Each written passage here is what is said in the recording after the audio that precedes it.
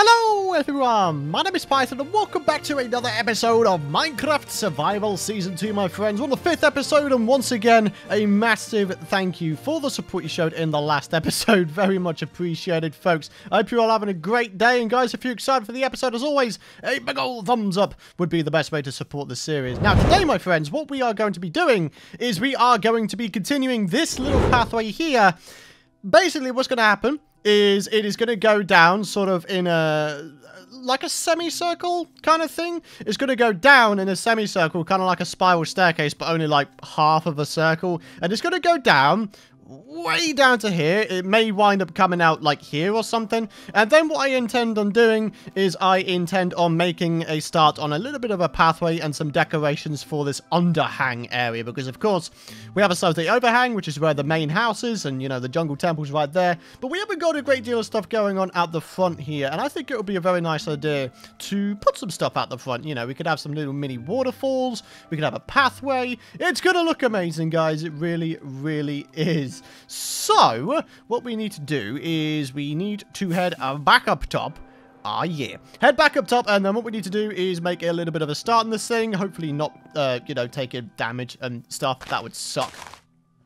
Although, with that all said and done, Maybe what I could do, I mean, we've got this pathway over here, which is leading off to that newly flattened area. Actually, this is something I've done since the last episode. If I just show you guys real quick, as you can see, it's decorated pretty nicely. Got some ferns, some little bushes here and there. And it goes over to this area here, which I did go ahead and uh, deforestate de deforestate, deforest, I, I don't know. But uh, yeah, we got ourselves a bit of an area here which we could build in as well. It was already pretty, pretty flat terrain. I just decided to sort of finish it off. So we got ourselves a nice area here where we could potentially make something. Now, of course, I'm not going to make it completely flat. I mean, you know, we've still got this sort of area here which we could potentially decorate and or leave as is. So, you know, there's plenty of stuff we could do, my friends. There really, really is. But why I was hesitating just a minute ago with regards to that pathway is if I was to quickly grab out some stairs, uh, yep, a little bit of the stairage action,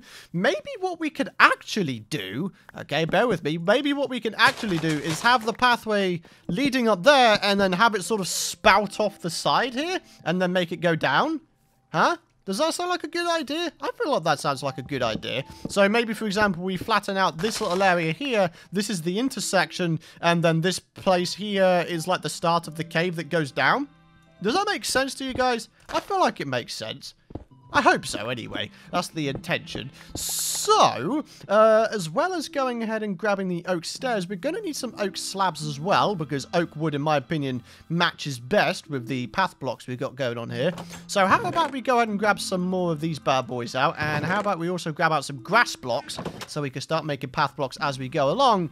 And before we get anything done, a good old sleep for the big day ahead, I think is in order. Alright guys, so I have been a busy bee since the last cut. I've made a whole bunch of progress, but uh, we're actually going to need to go to sleep again. Wow, I feel like I've slept in the last, like, two times in the 20 seconds. Wait, that doesn't make any sense. well, good morning to you, skeletons. It's nice to see you burning up over there. Wow, I knew I had that effect on the zombies, but not the skeletons. Wow, I must be really attractive or something. No, not really. Anyways... oh dear. Anyways, guys, check this out. I have made a bunch of progress since the last cut. I decided to go ahead and do some of the more mundane stuff off camera, uh, you know, digging of the tunnel and all that kind of stuff. But uh, check this out, guys. What I decided instead of making this go up here and therefore me having to alter quite a lot of the terrain is I decided to try and make the pathway match the terrain. So uh, we got like a little bit of a cliff going on here, but it doesn't mean we can't get something going here that looks good, right? So we've got ourselves a bit of an intersection here. We can go left to go down to the shore, or we could go up here, which is going to go to whatever place. I haven't really decided where this is going to go to yet, aside from, you know, in the jungle, the mighty jungle. The lion sleeps there. I'm, I'm sorry, I'm never I'm, I'm, never doing that again. Anyways, so we've got ourselves a tunnel going here. It goes down the curve here, and then down here. And here we go. We're down at the shore and things are looking good. Yeah. So, here's the plan. We've got ourselves some oak planks, uh, oak slabs, whatever you want to call them. We're going to bring them over this way. We're going to have ourselves a nice little walkway. And it's going to come to over here. I'm not entirely sure what I want to connect it up to, though. Maybe we could have like a mini tunnel uh, going to the back area over there. Maybe we move that little sugarcane plantation somewhere else and have that be a pathway instead. What do you guys think? Should we move the sugarcane plantation? I feel like it would be a good idea to because I kind of want to I kind of want to link them up like have the pathway come into this temple. I mean that would make logical sense, wouldn't it? Right? I don't know. I don't know. Oh, I'm just trying to think of plans. I'm just trying to think of plans, my friends. So, uh, let's grab out some of these here slabs. Slabberoos. Yes, indeed. I'm actually going to go ahead and get rid of these. Rather like that. And then we're going to begin doing a little bit of pathway action. Yeah, that beautiful pathway action. Right, do we think we could... Uh, do you guys think that using some bark blocks might be a cool idea? I mean, I'm down for this. What do you guys think? I think it works pretty well. Maybe as we go along, we could have some regular jungle logs, you know, the, the non-bark form, have them sticking up and they be the supports in the water, right? I mean, again, that would make logical sense for the for the little walkway to have some sort of support. Uh, ah, I don't have a lot of uh, jungle logs left. I rather messed that up, didn't I? oh, dear. Uh, fences. Uh, yeah, we got some fences. Jungle. Uh, it would be nice if I could plant down some spruce trees. I feel like spruce might go pretty well with the bark blocks, or even dark oak for that matter. I feel like all of those things might go pretty well. Anyways, what I was talking about is maybe every now and again we could have a bit of a pillar going up like this. Yeah? What do you guys think about that? I think that looks pretty cool. So maybe we do it like every uh, five or so blocks. So maybe one, two, three, four, five. And then we have another little support down here. Make it go all the way down into the water to give the immersion that it is in fact supported. So that's pretty cool. Uh, we've got some oak planks left. Uh, hmm. Right, my inventory is getting clogged with a capital C. It is insane. Right, anyways, uh, more of these. Yes. Yes, yes, yes, yes. And then we bring it around there. Except what I may actually have to do is, again, get rid of the uh, sugar cane because it is rather in the way at this point. we're going to need to move the stuff, man. We don't need it all. We just don't need it. There we go. But yeah, we're going to continue the pathway coming all the way around here because why not? Just want to make it look nice, make it look, you know, functionally correct. Functionally correct? Does that make sense? I have no idea. But we just want to make it look nice. So, yeah. Okay, so once again, if we just grab out the uh, bark blocks. So this is two blocks, three, four, five, and then maybe we have a support right here. There we go. You see, we're making plays, aren't we? And then two, three, four, five, and then maybe another little support right there, and then that can go along like that. I mean, even just doing that I mean, even just that, it's made it look a lot better, isn't it? It's given it some proper supports. It's looking good. So we're definitely going to need some fences on top of these bark blocks. Maybe a little something to top off the uh, the the wood pillars, maybe? Maybe some leaves or maybe some slabs or something. Uh, what if we just use some of these? Hmm. I don't like the fact that oak. I think there's a bit too much oak going on now, in which case. Uh, what if we use some jungle slabs? I think that might work pretty nicely, right? Boom. Boom. Yeah, I like the subtle difference in the coloration of the wood. I think that looks really, really nice. Okay. Not bad, not bad. But anyways, guys, let's go ahead and continue work on this. I'm going to need to get myself a bunch of resources from various places. We might have to deforestate a little bit more. Oh, dear. But anyways, let's go and make some progress, my friends, and we should be back for a progress update shortly.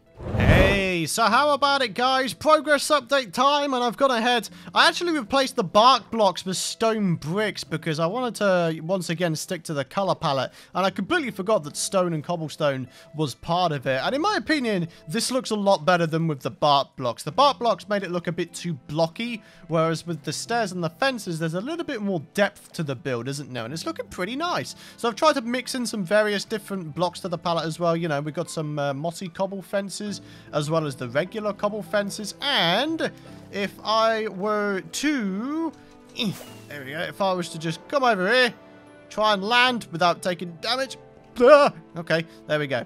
But yeah, as you can see, I've also tried to implement just a tiny bit of color over here as well, in that we have some of the oak slabs replaced with jungle slabs, you know, again, just to give it a little bit of color. Got some vines on various bits and bobs, and just all in all, it's looking pretty nice. We've got this place connected up now. We just need to, you know, make a start on, uh, you know, making the area where this is going to be going to, or making the tunnel to where that's going to be going to. And then, of course, we need to work on the tunnel itself to make it look nice. But check this out, guys. I have accidentally made a vine ladder. So, yeah, I could just go up here if I wanted to go up top. I don't even need to go up the stairs. Um, so in which case, what the heck was the point in this episode, right? oh, I kid, I kid. I just want this place to look good, man. I really, really do. Like I say, I don't normally build in jungle biomes, so, you know, I want this, my first time doing this properly, to, to go well. Like, I don't want it to look awful. You know what I'm saying? I want it to look nice. So, yeah. I think the best way to look at this is actually from the sky. I know we just uh, flew, but we didn't really have a look at it, did we? So, how about we just pop up here real quick, have a little bit of a fly, go out, and then come back in. Yeah! You see? This is looking amazing, dude. I am very, very glad I made a start on this project by putting a pathway down here. It's made this look a lot more sort of official, like it is like a proper settlement, right?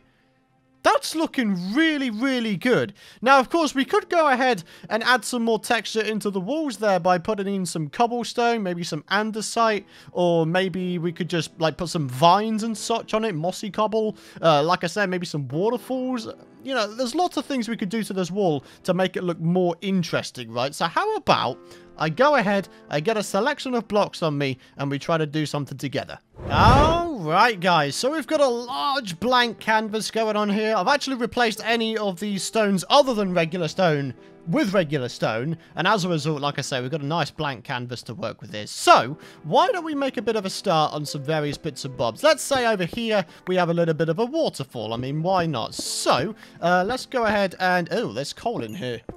Interesting. Okay, well, uh, not the end of the world, I guess. So, let's go put some water in there. We'll grab another bucket, put that in there. Uh, maybe what we do now is grab some glowstone, chuck it behind there, just so there's a little bit of light being produced. There we go, looking good already, isn't it, guys? So, how about a little bit of cobblestone around the outside to make it look sort of cracked, as if, uh, I don't know, I'm not really sure, as if... Not sure what to compare it to, really, but I, I don't know. I think this is just going to look good. So why don't we do a little bit like that? And then maybe at the bottom we have some uh, some fences. Uh, maybe we make that go down yet another block. And then what that'll mean is I could do this, this, and then put some fences on top of it, rather like that. I mean, even just that, even just a tiny little thing like that, in my opinion, has made this place look a little bit nicer, right? I mean, it just does. It just does. Okay, so how about we go ahead and replace the interior walls with stone bricks. Make it look, again, just a little bit nicer. Okay, looking good. Uh, let's do the same over this side. There we go. Okay, and then we're going to do the ceiling real quick. Okay, and I mean, we can, I guess, see that down there. So let's go ahead and uh, replace that. And there we go, guys. A very, very basic little waterfall even just that by itself has spruced up the area quite a lot. So, how about we start making some indents in some random places and then add in a little bit of decoration? So how about we just go ahead and, uh, you know, just do a little bit of this. Maybe we could put some grass down. That is not grass. That is walls. Try that again. So we've got some grass here. Uh, we could do a little bit of that. Maybe what we do is we place some grass in like that. Maybe on some of them we can have some leaves. Uh, maybe we can have a leaf there. And how about a little bit of the fern action there, eh? Not looking bad, is it? Not looking bad. Maybe even what we could do is hide a little bit of glowstone back there. I mean, it's not strictly hidden, I guess. Oh, darn it. Well, uh, I'm being a dum-dum. I can misplace the blocks like a noob. But yeah, it's not strictly hidden, but it will produce a decent amount of light, which is really, really nice. Okay, so how about next we start introducing some different textures? How about we start introducing in some andesite? I think this would be a nice little touch. Uh, maybe we do it in tiny little clusters here and there, so a little cluster like that. Uh, maybe we come over here, have another little cluster, or in this case, it kind of looks like those two are connected. In fact, why don't we go the whole hog and then do that? Yeah? That looks pretty cool, doesn't it? That looks pretty cool. Uh, maybe one there behind it. Yeah, that's looking a lot better. Okay, uh, so how about over here? Maybe we could introduce a couple little bits of grass over here as well to make it look good. So, let's do exactly that. I'm getting... What the... Uh... Oh. Mr. Squiddy just died. Squidward just died, ladies and gentlemen. That is morbid. What the heck? There's children watching, man. Why would that be the case? What? Oh, this is unbelievable. Absolutely unbelievable. Squidward just died because he decided that it would be a great idea if he went ahead and tried to go inside my ocelot cat cave. How dare he? oh, dear. But there we go. That's looking good, isn't it? That is looking good. How about we do another little one here? I mean, this is like the entrance to the connector, the, the tunnel towards the, the thing. So, you know, that's cool. But yeah, again, looking good, isn't it? Dude, I could, I honestly think that this place is going to look amazing once it's done. Uh, those bits of uh, andesite obviously are going to be replaced or gotten rid of, actually. So, oh, I didn't want to do that. Oh, no. I broke the blocks. I'm a bad person. Uh, alright. Well, let's get you... Ah, uh, why? Why you do this, man? Come on. Right, let's get you placed down there. Uh, how about we make you double tall? Um, maybe we make this fern double tall as well. Yeah, a little bit of height variation. Okay, so now we've got this wall here. Maybe we could do a little something with this. Maybe another little waterfall. Or maybe Here's what I'm thinking. I mean, we do need to bear in mind that the tunnel is here and we need to decorate this, uh, probably in the next episode at this point. But we've got a decent amount of space here. Maybe uh, what we could do, uh, let's start it there, in fact. Maybe what we do is a little bit of a nature area. Huh? Maybe we have a slightly larger area of grass on the inside of this. Maybe we could have a waterfall again inside it. Uh, we're just adding a bit of greenery, guys. That is the that is the fact of the matter. That's what we're doing here. So why don't we start placing some of this in? Yep, looking good, looking good. Uh, let's grab or get rid of this stone real quick. Yeah, there we go. Uh, maybe in this corner we have a tiny bit higher bit. Yeah, that's looking cool. Okay, and then maybe, uh, let's say, uh, completely randomly, let's say there maybe, uh, we put a piece of dirt down there, or a bit of glowstone. Hey, a little bit of glowstone. Yep, hiding lighting again. You see? Coming up with all these plans, man. It's looking good, isn't it? So we've got that little thing going on there. Maybe we could have like a, a little bush next to it. Uh, maybe we could have a tiny little thing going on there. Uh, what if I bring the grass down a little bit? Would that look cool? Yeah, it does. It does. It looks pretty good, doesn't it? Okay. Uh, could I maybe hide another bit of glowstone in there? I'm thinking maybe in here. Huh? Is that a cool idea? And then maybe we put another leaf like that? Yeah, except now... Oh, darn it. I just ruined things. I ruined everything, guys. That's it. Well, I've ruined things. Oh, no. Jeez, man. Uh, yeah. That's looking pretty good. Maybe we wrap that round rather like that. Yeah, okay. And finally, let's go ahead and work on the interior walls here. We'll use a... I think we use a combo... Uh, I can't even talk now. We'll use a combination of cobblestone and stone bricks. Yes, that's a good idea, Python. Right, let's get this thing done, shall we? Hey, and how about it, ladies and gentlemen? We have converted the bottom section into a lovely, luscious, naturistic walking area. And it's looking amazing, dudes. I hope you have enjoyed this little mini sub-project we've done today. As you can see, we've got some cobblestone and mossy cobble in the walls. I think probably the only other thing I may do in today's episode is uh, spread some vines just a little bit. Not too many. I don't think we're going to need too many, but I think it'll be a nice idea to uh, get some out anyway. So, let's get back on the pathway so we can actually get back up.